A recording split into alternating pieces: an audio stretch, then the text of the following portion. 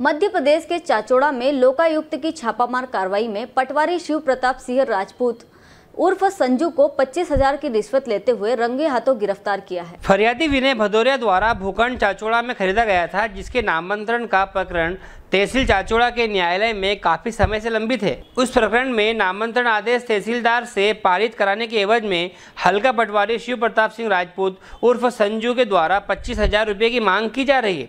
आवेदक के द्वारा तेईस जुलाई को लोकायुक्त ग्वालियर में शिकायत की गई थी और आज पटवारी को पच्चीस हज़ार लेते हुए रंगे हाथों गिरफ़्तार किया गया और कार्यवाही की। चाचोड़ा से अमित चौरसिया की रिपोर्ट। मेरा नाम विनय भदौरिया है। मेरा नामांतरण के लिए चाचौड़ा कार्यालय में चाचौड़ा तहसील में। मेरा नामांतरण के लिए है। तो तहसीलदार साहब, रोज़ मुझे बुलाते हैं, एक दो दिन की बोल के, फिर कुछ करते नहीं, चार चार, पाँच पाँच घंटा बैठना पड़ता है। फिर इसके बाद मैं इसी महीने की दस तारीख को गया।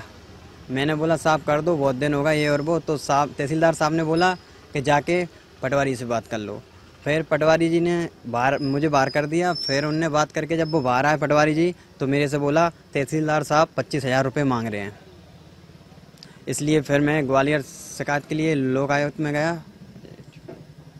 कहाँ का मामला था? आपका प्रकरण कहाँ का चल रहा था? भूखंड कहाँ पे था आपका? चाचौड़ा। ज़मीन चाचौड़ा थी आपकी? जी।